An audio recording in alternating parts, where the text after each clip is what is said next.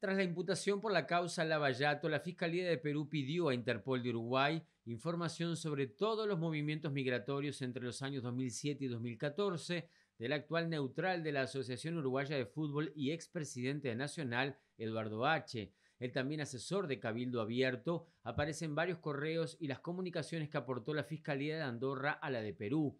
El empresario ya fue notificado de esto y se espera que la fiscal pueda tomar la declaración en las próximas semanas en Perú. Interrogado sobre cómo puede pesar esto en la Asociación Uruguaya de Fútbol, el presidente de esa institución, Ignacio Alonso, dijo que H presentó un documento elaborado por sus abogados y que por el momento no hay razones para tomar medidas con el dirigente tricolor.